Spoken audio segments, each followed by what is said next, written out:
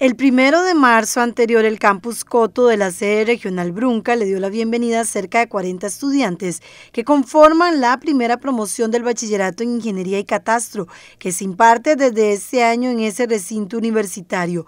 17 mujeres y 4 estudiantes indígenas forman parte de este grupo que estudia para abrirse paso en la región. Desde el 2020, las autoridades participaron en el Diálogo Regional Brunca, propuesta multisectorial para la activación económica, en donde se mencionaron problemas como la desactualización o no inscripción de propiedades, falta de profesionales para estudios técnicos de construcción e integración de asadas e infraestructura deficiente o en malas condiciones en estas organizaciones. Ante esta problemática, las autoridades académicas de la sede y la Escuela de Topografía, Catastro y Geodesia plantearon en el 2023 la posibilidad de abrir la carrera, lo que se convierte en una realidad para este año. Ciani Moraga Soto tiene 27 años. Hace 10 años inició sus estudios en administración, pero los dejó porque tuvo hijos. Ahora retoma la universidad y matriculó sistemas, pero cuando vio que habían abierto topografía, decidió cambiarse.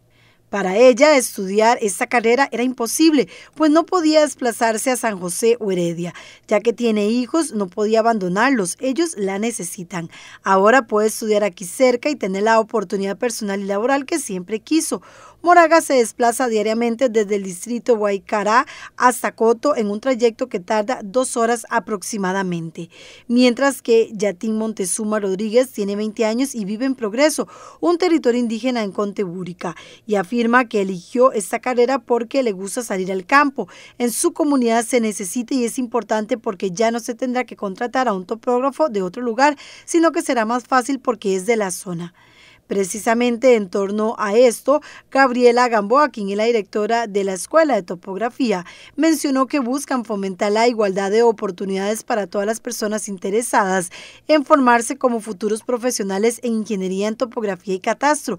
En esta oportunidad consideraron la demanda de profesionales de este campo laboral en la zona sur y el principio de que la educación es para los costarricenses un fundamento, orgullo y excelencia de calidad.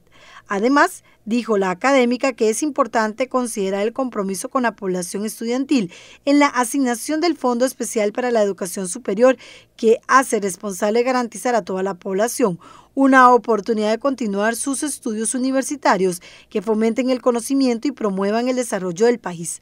El pasado primero de marzo, los estudiantes recibieron una inducción por parte de Gamboa, la subdirectora Sara Vasos y Jorge Moya Zamora y Alicia Gómez Cruz como representantes académicos. Ahí se abordaron temas como los derechos y deberes estudiantiles, el quehacer de los profesionales en esta área y una visita guiada al punto de El Oxicori, al banco de nivel 650 ubicado en el Adrónomo de Golfito y su respectiva densificación y el reconocimiento del punto de gravedad absoluta de la UCRG localizado en la sede de la UCR en el cantón de Golfito.